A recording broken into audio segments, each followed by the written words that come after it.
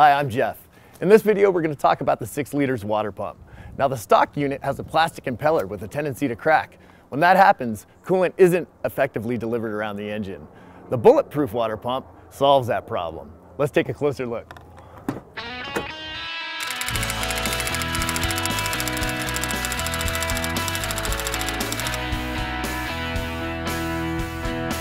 We've torn down this 6 liter engine to perform a variety of work. To install the water pump, the cab does not need to come off the truck. At the front of the motor now, we're ready to install our BPD water pump.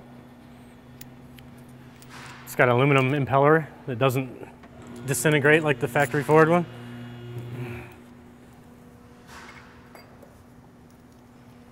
We've noticed on some of these when the fan is commanded 100%, you'll get a heck of a belt squeal. And we found a good way to solve that by just roughing up the water pump pulley a little bit before it's installed and it'll grip the belt a lot better and we'll avoid that squeal.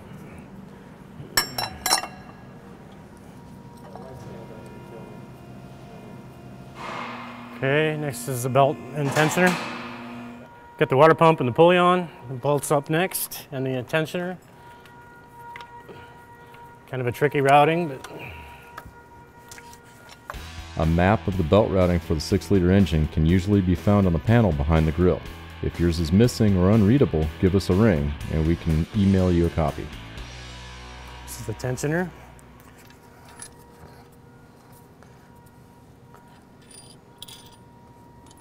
A lot of people don't realize this on the tensioners.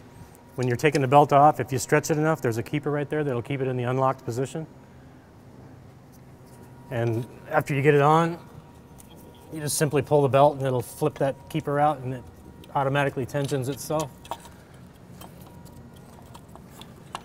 Yeah, make sure the belt's in all the pulleys, like that one's not. And then to get the tension back on the belt, you just pull it. All right, next would be the fan stator.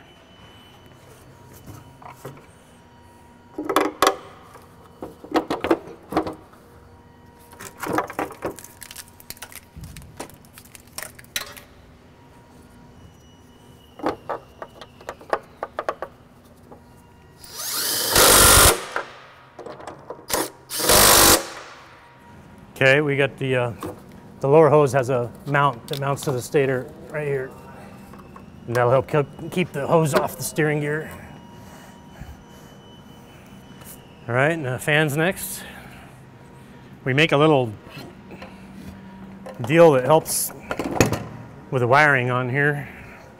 These things are kind of notorious for eating the fan clutch wiring, so we've done a couple of things to help avoid that. One of them is this little sleeve that we install. This protects the wiring. These things, for some reason, they're kind of notorious for eating the, the fan wiring. The fan will eat it.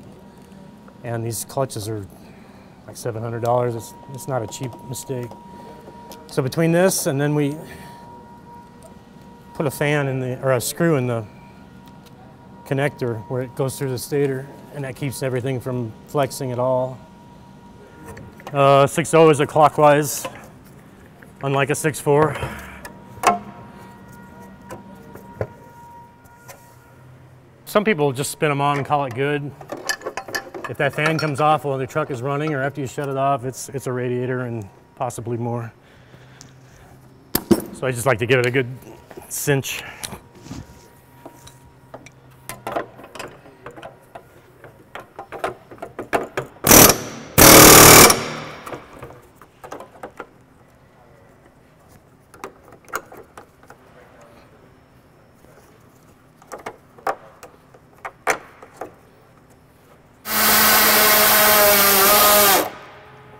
Just one self-tapping screw and that'll keep that from moving at all.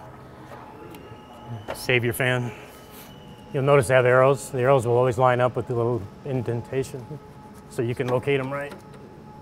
All the Ford factory hoses have it.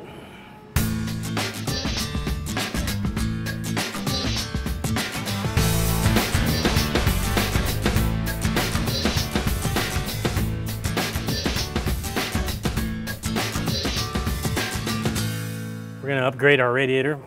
Take this plastic one out. These seals right here, you wanna try to make sure and get them back on your new radiator. They'll leave a real big air gap between your intercooler and the radiator otherwise and loss of efficiency.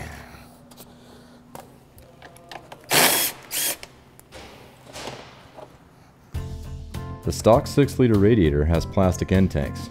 This radiator has been problematic and failures are common. The upgraded bulletproof diesel all aluminum radiator is a reliable and durable alternative. Okay, let's get the seals back on this radiator. You have to kind of push them all the way on and then they'll kind of roll.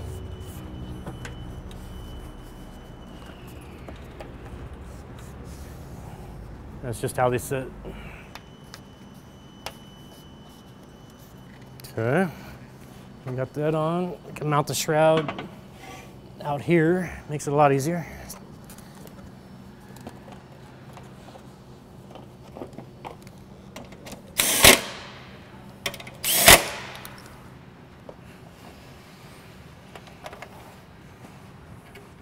All right. With the water pump and radiator installed, the truck hit the streets for testing, which is part of the Bulletproof Diesel protocol. Be sure to check out the other videos in this series, which will demonstrate how we correct the other pattern failures in the 6 liter engine.